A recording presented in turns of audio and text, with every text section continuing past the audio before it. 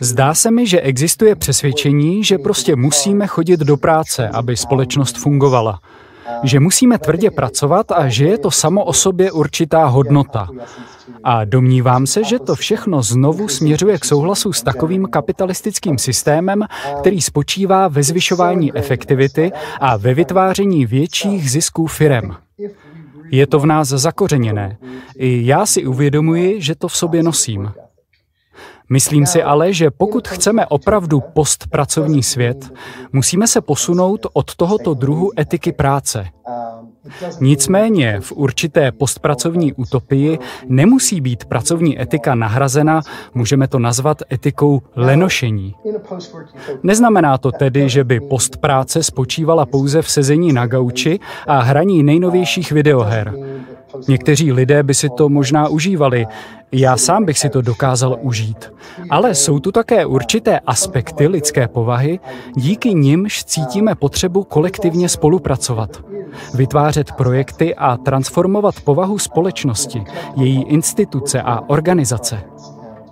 Ve skutečnosti totiž nejde ani tak o konec práce jako takové, ale spíše o konec námezdní práce. And the issue really is not the end of work per se so much as the end of wage labor. Chodíte do práce, protože chcete nebo musíte?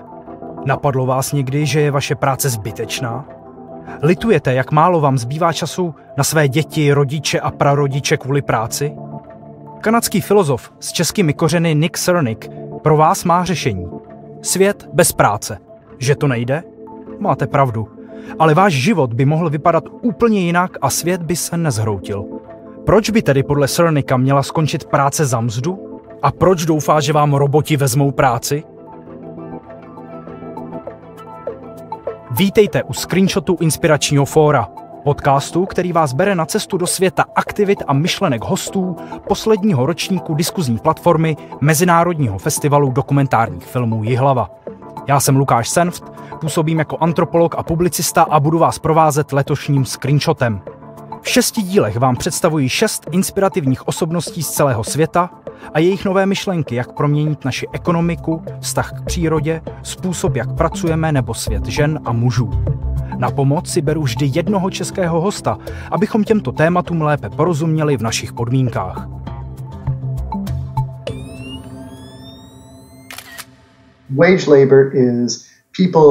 Co znamená námezdní práce? Takovou práci vykonávají lidé bez jakýchkoliv prostředků k obživě, kteří jsou nuceni jít a prodat svůj pracovní čas někomu, kdo je pak ovládá 8 hodin denně, 5 dní v týdnu, zatímco se ale stále více rozšiřuje kontrola lidí i nad rámec této standardní pracovní doby. Takže tohle je námezdní práce. Je to neuvěřitelná ztráta svobody. Když zrovna nespíte, tak značnou část svého života věnujete někomu jinému. Někomu, kdo vám může říkat, co máte dělat, a to v podstatě kteroukoliv vteřinu dne. Tohle v žádném případě není svoboda. Takže bychom měli osvobodit práci od námezdní fachy. A myslím, že to je jeden ze zajímavých způsobů, jak přemýšlet o tom, co znamená post práce. Je to práce osvobozená od těchto omezení, od tohoto způsobu nadvlády, od této nesvobody. Místo toho mají své místo úvahy o tom, jak by vypadala práce, kdyby byla vykonávána v kolektivních projektech, kteří si pracovníci svobodně vybrali.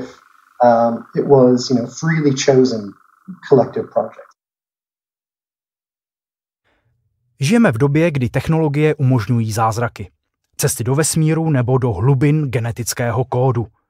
Na pódiích vystupují hologramy politických nebo hudebních osobností, protože jejich předobrazy mají příliš práce.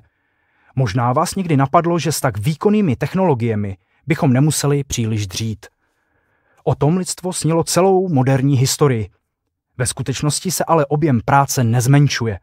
Průměrný Čech pracuje každý týden dvě hodiny přes čas – Čeští zaměstnanci malých a středních firm pracují o hodinu déle než je evropský průměr, přičemž práci řeší i v osobním čase a na e-maily odpovídají ještě před usnutím a krátce po probuzení.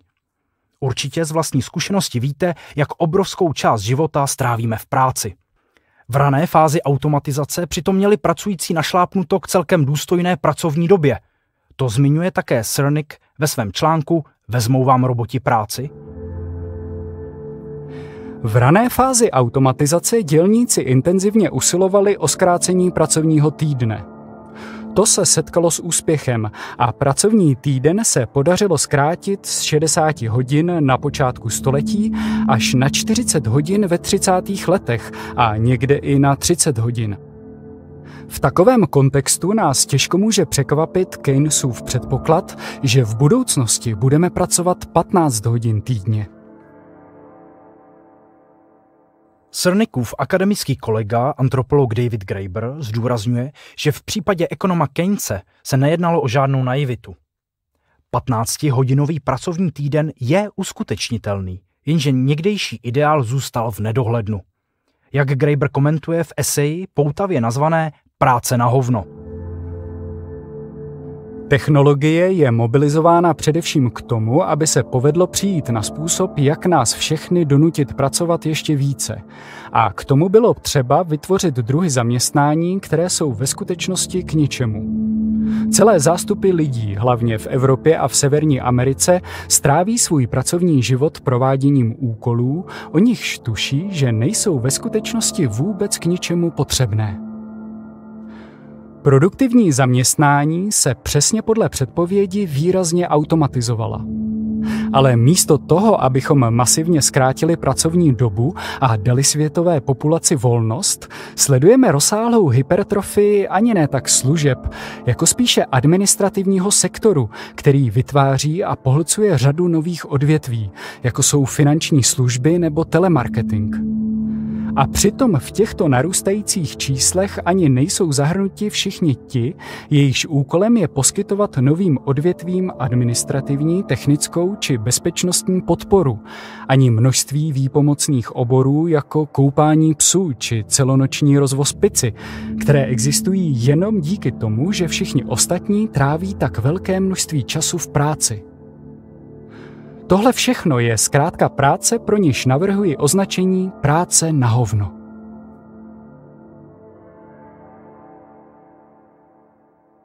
Plný pracovní úvazek stále znamená alespoň 8 hodin práce denně.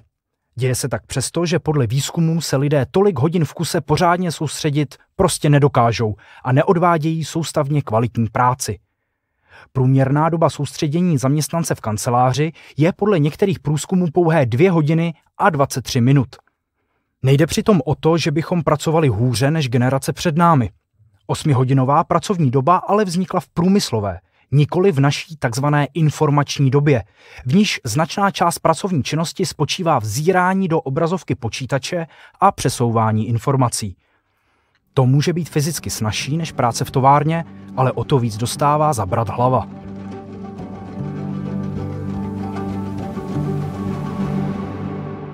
Vítám Petra Bitnera, publicistu a komentátora deníku Referendum.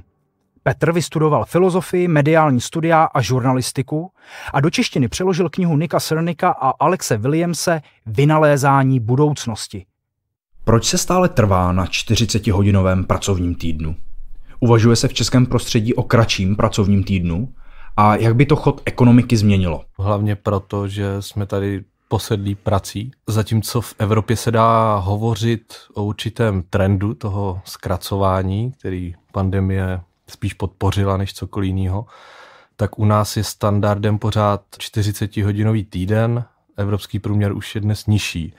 A oproti průměru Evropské unie napracují Češi ročně asi o 100 hodin navíc. Tenhle týden vlastně iniciativa Four Day Week spustila experiment v Británii, kterého se účastní víc než 3000 zaměstnanců s kratším týdnem.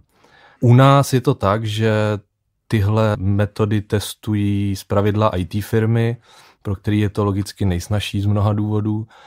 Ekonomicky realistický je samozřejmě navázat ten přechod na produktivitu práce a tam sice Česká republika pořád spíš zaostává oproti zemím jako Francie nebo Švédsko, ale to není jenom proto, že bychom byli nějaký lemplové, ale je to taky důsledek řetězce politických rozhodnutí z minulosti, kdy se tady zmrazovaly mzdy, držela se mrtvá minimální mzda a konkurovalo se levnou pracovní silou. Takže to všechno má prostě ten důsledek v tom, že teďka hovoříme o tom, že Česká republika má nějakou produktivitu práce. No a taky je třeba myslet na to, jak velká změna by to byla pro chod dalších návazných věcí, jako je otevírací doba školek, veřejná doprava, obchody, všechno, co je na to navázané, ale vzhledem k řadě souběžných trendů je to minimálně v Evropě budoucnost.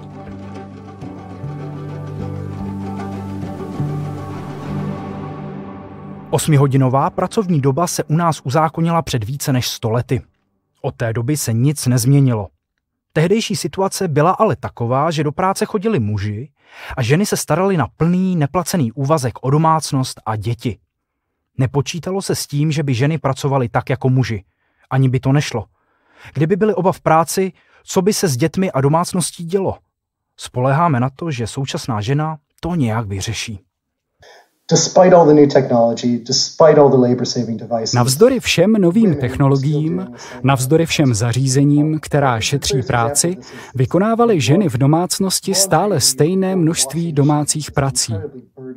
Dobrým příkladem je praní prádla. V době před vynálezem pračky šlo o neuvěřitelně zatěžující práci, která zabrala celý den – a protože bylo praní tak pracné a náročné, nedělalo se to tak často. Kdežto, jakmile jste měli pračku, najednou bylo fyzicky jednodušší a pohodlnější oblečení vyprat.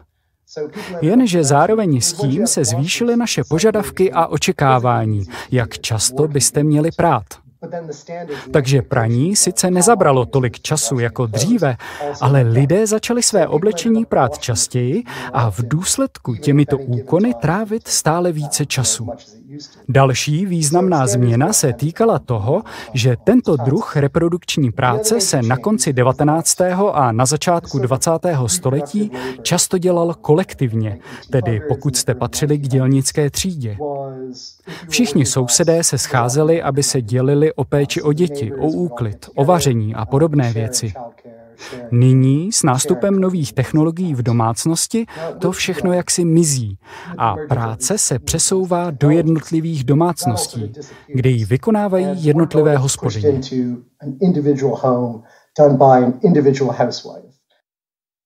Měli bychom si přiznat, že osmihodinová pracovní doba je relikt minulosti a není v posledku výhodná pro nikoho. Statistiky OECD prokazují, že země s největším počtem hodin, které zaměstnanci stráví v práci, zároveň patří k nejméně produktivním státům. Možná máte vlastní zkušenost s tím, co dokládá více rozšetření. Zaměstnanci bývají produktivnější tam, kde se jejich výkon neměří hodinami, ale odvedenou prací. Nedávno se 2500 lidí na Islandu zapojilo do pokusu, kdy pracovali 35 hodin týdně při zachování stejné odměny za práci. Výzkum prokázal, že si lidé v práci připadali šťastnější a těšili se do ní. Projevila se i vyšší produktivita pracujících a také zlepšení jejich fyzického i duševního zdraví.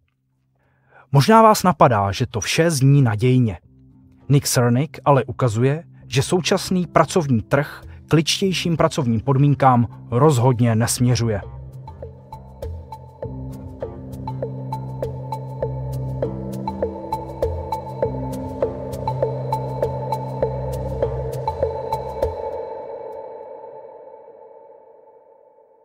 Nick Cernick získal doktorát na London School of Economics a celosvětové renomé si získal knihou, kterou napsal společně s Alexem Williamsem. Do češtiny byla přeložena pod titulem Vynalézání budoucnosti.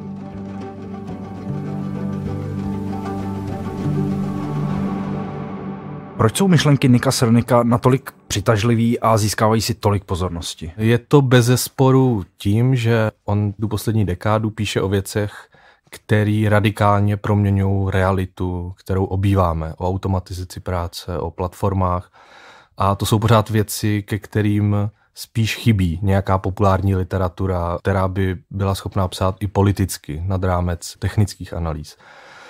Nick Cernick, jakožto levičák, nechává ve středu těch svých analýz člověka a to je podle mě nesmírně důležitý. Pokud jde o proměny práce, o tu automatizaci, o ty platformy, tak nejde jen o potřebu nějak redefinovat ten pojem práce, ale měli bychom se taky ptát, jaký dopad to má na životy těch lidí, na kariéry těch lidí, protože kariéra to není jenom prázdný korporátní ptydepe, na to jsou navázané věci, které tvoří historii práce. To znamená, že když člověk někde pracuje delší dobu, zdokonaluje se a identifikuje se prostě s tou firmou, tak z toho pro něj plynou nějaký benefity, má nějaký nároky v té hierarchii a to je prostě standard nějaký pracovní kultury, za který se tady na západě bojovalo stovky let. No a tahle kultura je dnes v podstatě smetená business modelem platform a jejich takzvaných kontraktorů. Práce, jejíž vykonavatel nemá žádnou hodnotu a neposiluje v čase svůj podíl na firmě, tak tu známe ze sweatshopů. Ale tady se najednou bavíme o srdcích západních metropolí. Čili my potřebujeme znova promyslet, jak se vztahujeme k práci, jak jako společnost ohodnocujeme lidskou činnost, lidskou ochotu takzvaně být k dispozici, a to nejen dneska, ale i zítra a další den a další den. Tenhle výhled to je taky kategorie, která se vztahuje k té práci. A musíme se ptát, jestli chceme jako společnost takový závazek hodnotit důstojně, jestli chceme, aby byl takovýhle závazek klíčem k šťastnému a zdravému životu. A v podstatě se před námi otevírají stejné otázky, které si teoretikové práce kladly od 19. století, kdy západní města začaly zaplavovat ty velké továrny. To byla radikální změna, do které byli lidi nejdřív nahrnutí, než se začalo reflektovat, co to vlastně znamená pro charakter té práce.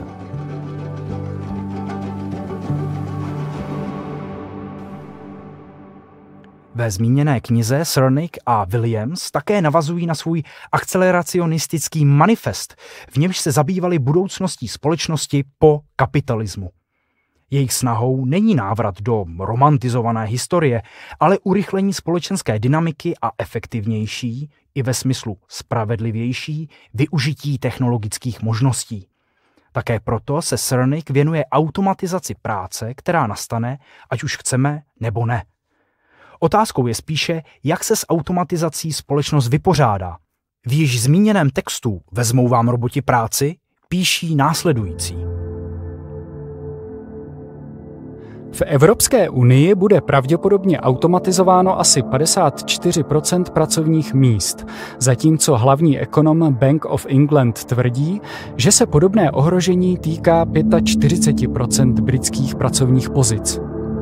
Rutinní práce s nízkou úrovní mest a kvalifikace byly totiž vytlačeny z bohatých kapitalistických zemí do chudších ekonomik a právě takové práce automatizaci snadno podlehnou.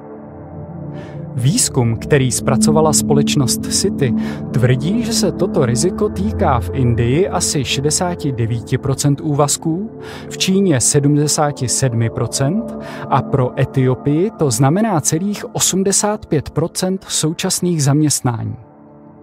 Vypadá to, že jsme na pokraji masového zániku pracovních pozic. Nezaměstnanost způsobenou automatizací můžeme čekat v řádu desítek procent. Nepřijde to hned.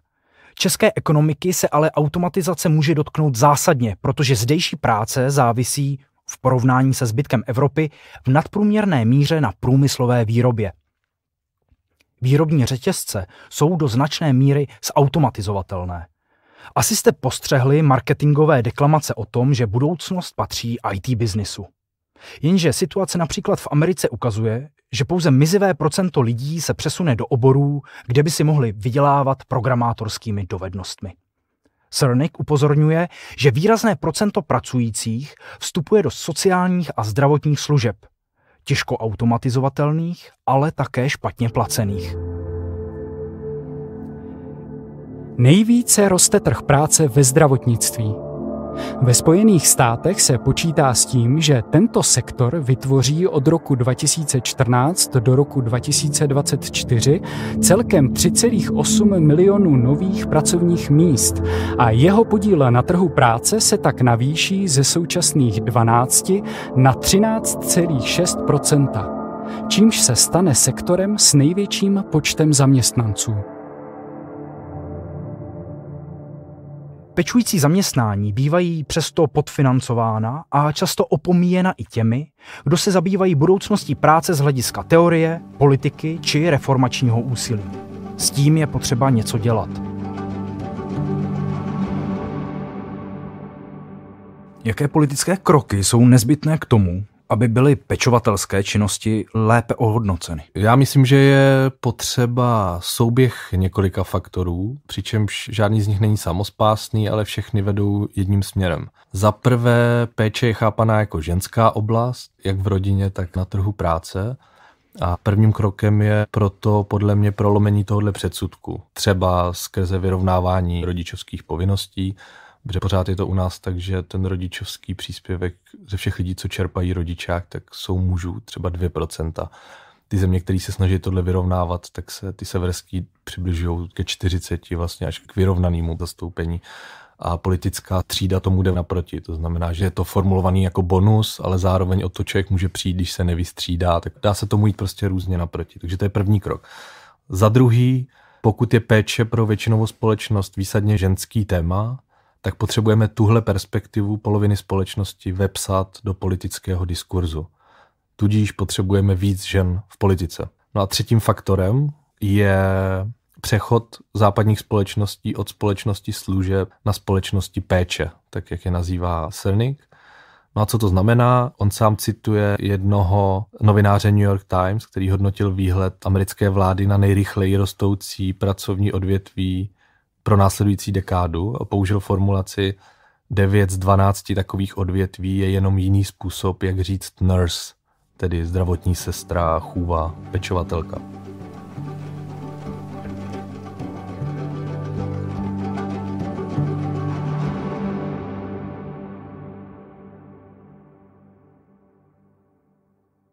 We tend to think about factories, Většinou bereme v potaz továrny, sklady, kanceláře a další běžné pracovní prostory. O čem se v postpracovní teorii mluví jen zřídka, je prostředí domova, nemocnic, domovů důchodců nebo dětských center. Taková prostředí jsou i v teoretickém uvažování zmíněna jen občasně. Dnes vidíme, že téměř v každé zemi rozvinutého kapitalistického světa pracuje přibližně 30% lidí v oblasti, kterou bychom mohli označit za sociálně reprodukční práci. Takže pokud jsme tyto státy kdysi považovali za průmyslové země zaměřené na výrobu, Nyní bychom je měli považovat za ekonomiky sociální reprodukce. A to je, domnívám se, obrovská změna. Pokud se zajímáte o progresivní změny politiky, pak víte, že zdrojem a možností takové změny bylo dříve dělnictvo. Jenže už dávno neplatí, že by spouštěčem změny byl dělník v továrně. Konkrétně řečeno, domnívám se, že práce zdravotních sester nebo třeba asistentů v domácí zdravotní péči a velmi specifické pracovní podmínky, ve kterých svou práci vykonávají, můžeme chápat jako jakýsi archetyp toho, v čem práce v dnešní době spočívá. Takže musíme proměnit naši představu o tom, co je dělnická třída. Vždyť například v pracovní sféře stále více převažují ženy a značná část populace je tvořena migranty, kteří takové práce vykonávají.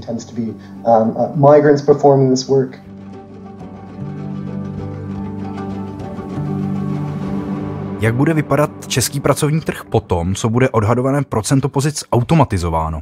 A jaké typy zaměstnání budou nejčastější? Tady je potřeba říct, že automatizace je možná moc obecný pojem, nebo není to jediný proces, který redukuje ten počet klasických zaměstnání. Musíme podle mě použít i pojem digitalizace. A to je trend, který tak jako v předchozí průmyslové revoluci dělá z pracujících de facto obsluhu stroje. Akorát ten stroj tady už není nějaká velká železná mašina v tovární hale, ale spíš algoritmus, který nahrazuje tu organizaci výroby a distribuce, anebo je to aplikace, která nahrazuje kontakt se spotřebitelem a ty platformy, konkrétně ten typ, který mu Cernik říká lean platforms, jako štíhlé platformy, tak pracují na bázi hyper-outsourcingu, což znamená, že nemají v podstatě zaměstnance a zároveň skoro nic nevlastní. Oni vlastní všeho všudy dva softwary. Jeden software, to je software, na kterým běží aplikace a druhý software analyzuje vytěžený data o zákaznících. A všechno ostatní outsourcují to, čemu se říká fixní kapitál, to znamená třeba auta v případě Uberu nebo byty v případě Airbnb, dokonce i jejich údržbu a především ty zaměstnance. Uber nemusí ty řidiče nejenom, že nezaměstnává formálně, ale nemusí je učit ani řídit. To znamená, že nemusí vynakládat prostředky na školení té činnosti. Čili my sledujeme monopoly, který nemusí investovat do údržby vlastních aktiv a inkasují rentu. No a největší dopady na společnost to má samozřejmě skrze outsourcing pracovní síly, tedy těch lidských zdrojů, kdy ty platformy v podstatě, to, že nemají zaměstnance, to není úplně novinka, protože průkopníkem tohohle trendu byla společnost Nike, která z toho modelu kontraktorů začala dělat páteř svojí konkurenceschopnosti už někdy v 90. letech.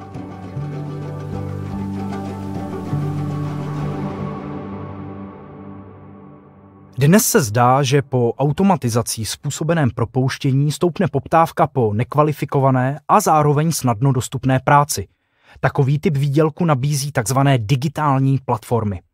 Možná jste neslyšeli tento pojem, ale takové platformy určitě znáte a nejspíš využíváte. Platformy sbírají data, vyhodnocují je a následně propojují poptávku s nabídkou. Spotřebitele a obchodníky propojuje Amazon – Poskytovatele informací a ty, kteří informace vyhledávají, spojuje Google. Výletníky a majitele bytů a domů si vzal pod křídla Airbnb a tak dále. Cernik na ně pohlíží dost nedůtklivě, mimo jiné ve své knize Kapitalismus platform. Vezměme si například Facebook, který na jedné straně združuje uživatele, na druhé straně inzerenty, ale také společnosti, vývojáře aplikací. Všechny tyto různé skupiny se na platformě setkávají a interagují v rámci Facebooku. Asi by bylo přesnější říci, že je to vlastně metaplatforma. Facebook, Amazon, Google, Alibaba, Tencent. Všechny tyto společnosti jsou především platformami. A otázka, kterou jsem si při psaní knihy kladl, zněla, co je na tomto obchodním modelu pro tyto společnosti tak přitažlivé a co jim umožňuje dominovat nejen na svých konkrétních trzích, ale vlastně se i nadále tak trochu rozprostírat napříč celým ekonomickým systémem a zvětšovat svou moc. A klíčová odpověď na tuto otázku souvisí s efektem síťování. Tedy s principem, že čím víc více lidí platformu používá, tím je cenější. Říkáte si, že se jedná o ideální propojení nabídky a poptávky? Problém je, že tato zakázková ekonomika nenabízí udržitelný model pracovního trhu a už vůbec ne života pracujících lidí. Česká politoložka Kateřina Smejkalová upozorňuje na možné štěpení společnosti, na kvalifikované a finančně dobře ohodnocené experty a na ty, jejichž práce je natolik špatně ohodnocena, že se ji automatizovat nevyplatí nebo už její automatizace nastala. Tito pracující pak budou zajišťovat služby pro elitní část společnosti, což jim budou nabízet den ode dne právě digitální platformy. Tato zakázková ekonomika je ovšem v důsledku nevýhodná pro obě skupiny, zákazníky i námezné poskytovatele. Pokud jste zákazníci, je o vás schraňováno stále více osobních dat. A pokud jste vykořišťovaný poskytovatel bez řádné pracovní smlouvy, dostáváte za svou práci výrazně nižší odměny i sociální zajištění, než kdybyste byli klasickými zaměstnanci. So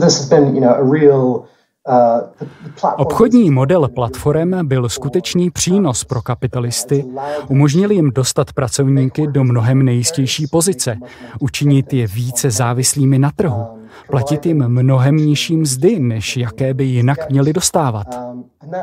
A to je podle mého názoru hlavní aspekt příběhu kapitalismu platform, který dosud byl pro pracovníky v důsledku nevýhodný. Další klíčová změna podle mě souvisí s dohledem a s tím, že platformy v podstatě spočívají ve sběru dat. Čili dalším důvodem, proč byly platformy v posledním desetiletí tak úspěšné, je to, že se jedná o obchodní model, který je postaven tak, aby zhromažďoval co nejvíce dat. A data v naší současné ekonomice nejsou jen zdrojem příjmu, ale také zdrojem moci. Takže jedním ze způsobů, jak kapitalismus platform změnil povahu práce, spočívá v rozšiřování dohledu, který je všudy přítomný.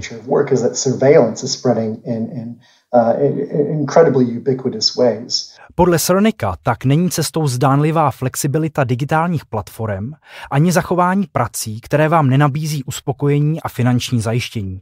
Sronik zdůrazňuje, že bychom měli podporovat investice do automatizování, které by odstranilo ty nejpodřadnější práce. A vyslovuje ještě radikálnější požadavek. Zbavit se závislosti na placené práci jakožto jediném a nezbytném zdroji příjmů. Místo rozmnožování nesmyslných pozic a otročení mnoho hodin denně se Srnik kloní k přetvoření sociálního státu a k zavedení takzvaného nepodmíněného základního příjmu. Pravidelnou finanční částku by stát vyplácel všem lidem, a to ve stejné výši a bez jakýchkoliv podmínek. Myslím, že sociální stát je naprosto nezbytný a klíčové je přemýšlet o tom, jak jej aktualizovat pro 21. století. A tato výzva tkví také v tom, že v mnoha ohledech je to politická výzva pro každou zemi zvlášť. Přesto se domnívám, že existují určité základní principy týkající se toho, co by měl sociální stát splňovat. Podle mě by sociální stát měl usilovat o snižování závislosti na trhu.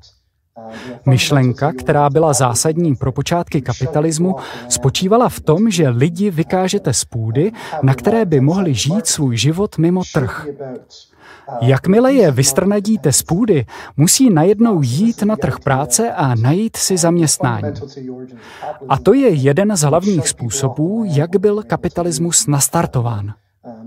A vymanění se ze závislosti na trhu je něco, s čím mohou sociální státy skutečně pomoci. Takže mohou poskytnout takové základní věci, jako je třeba podpora v nezaměstnanosti. A univerzální základní příjem je opravdu dobrým příkladem, a to zkrátka proto, že kdyby byl správně zaveden, v podstatě by pracovníci nemuseli být vůbec závislí na trhu práce. A to by znamenalo obrovské rozšíření svobody. And this would be a huge expansion of freedom. Někteří z těch, kdo navrhují zavedení nepodmíněného základního příjmu, ovšem varují před pravicově konzervativní verzí tohoto řešení. Ta je totiž zamýšlena spíše jako náhrada za sociální dávky. Místo cíleně zamířené podpory by lidé dostávali v celku nepatrný paušál. I neoliberální ekonom Milton Friedman si pohrával s myšlenkou základního příjmu, jenže to chtěl spojit se zrušením veřejného vzdělávání či zdravotnictví. Srnik nechce nahradit sociální stát, ale základním příjmem jej doplnit. Dostali bychom se tak ze situace, kdy volíme mezi různě nesmyslnými pracemi, které nás stejně pořádně neuživí. Určitě si dokážete představit, že proti základnímu příjmu se ozývají kritiky. Dva typy polemik se objevují nejčastěji. První se obává, že lidé, kteří nebudou muset pracovat, nebudou dělat vůbec nic. K tomu Srnik poznamenává. Myslím, že existují dva opravdu dobré příklady skupin lidí, kteří dostávají něco jako univerzální základní příjem. A jsou to rovněž dobré příklady toho, že jim takový příjem neubírá motivaci k dalším činnostem. Jedním z nich jsou seniori pobírající důchod, aniž by museli pracovat. Ve většině případů jsou důchodci aktivní. Dělají charitu, tráví čas s přáteli a cestují. Mým dalším oblíbeným příkladem skupiny, která dostává něco jako univerzální základní příjem a přesto neskončila v apatii, je britská monarchie. Jsou příkladem lidí, kteří teoreticky vůbec nemusí pracovat ale navzdory tomu jsou aktivní v mnoha projektech, na nichž se soustavně podílí. Pokud je univerzální základní příjem dost dobrý pro britskou šlechtu, mohl by být k užitku i pracující třídě.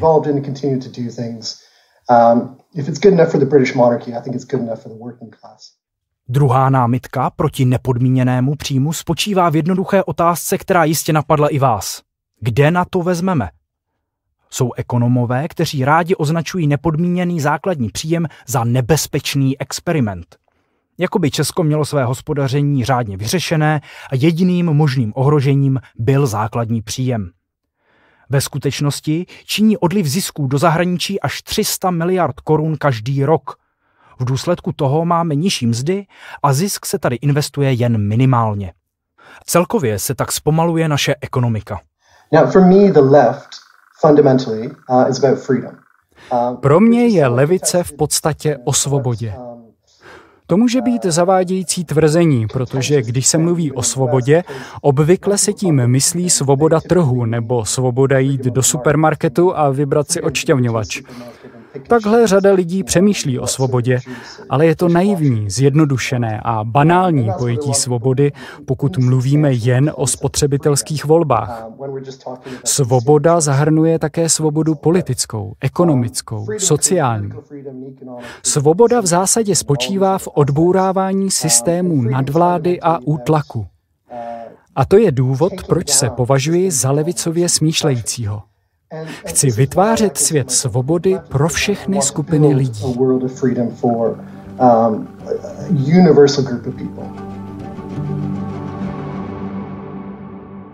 je pravděpodobný, že se v Česku začne plánovat zavedení nepodmíněného základního příjmu? Pokud otázka zní, jestli je to pravděpodobný, tak pravděpodobný to samozřejmě není. Pokud by otázka zněla, jestli je to žádoucí, tak tam bych řekl, že ano, Mělo by to být jedno z témat, které by měla ve všech evropských zemích společnost diskutovat, jako jednu z variant nějaké dlouhodobější transformace sociálních systémů. Protože, a na to Senik upozorňuje v té knížce Inventing Future, ty sociální systémy potřebují zásadnější reformu, protože právě klesá množství práce, na níž jsou ty systémy vlastně závislí. Nepodmíněný základní příjem tady u nás má pár tradičních zastánců typu Marek Hrubec, Jiří Štek a některé organizace a jejich počet nějak dramaticky neroste. To mě jako přirozeného příznivce rozdávání peněze za nic samozřejmě mrzí.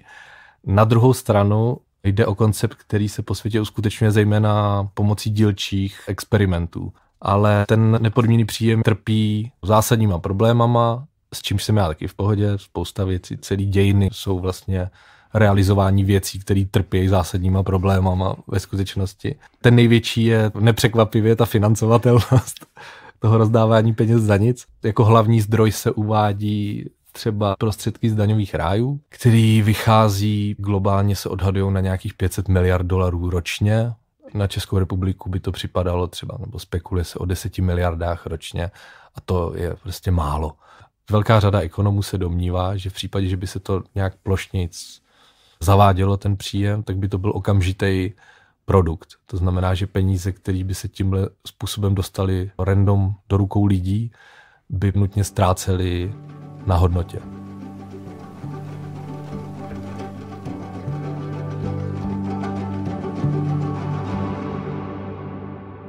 Určitě jste slyšeli, že zvýšení mest nebo nedej bože zavedení základního příjmu by znamenalo financování chudých bohatými.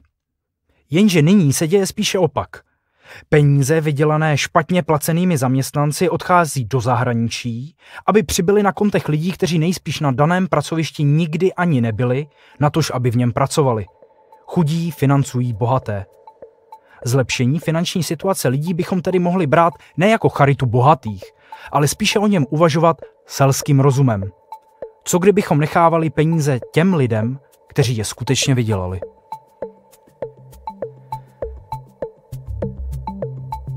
Máte za sebou epizodu podcastové série Screenshot s kanadským politologem Nickem Cernickem. Hostem ve studiu byl publicista a překladatel Petr Bittner.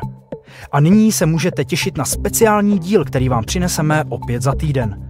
Bude to záznam debaty Boj o digitální prostor, která proběhla na loňském ročníku Inspiračního fóra. Do tohoto boje vyrazí německý digitální ekonom Timo Daum, antropoložka Marie Heřmanová a antropolog Martin Tremčinský. Půjde jim o to, jak se nenechat vytěžit digitálními korporacemi a proměnit virtuální prostor pro lepší občanství a komunitní život. A za další týden pro vás máme epizodu se španělskou ekonomkou Carlotou Sanz Ruiz a její ekonomii koblihy. Všechny díly najdete na našem webu inspirační fórum CZ lomeno podcasty a můžete nás také odebírat ve všech podcastových aplikacích. Inspirujte se s námi pro budoucnost.